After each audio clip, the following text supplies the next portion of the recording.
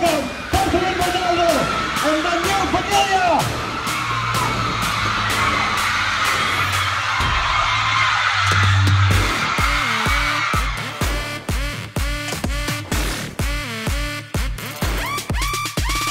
and uh, premiere ng Viewers Forever dito.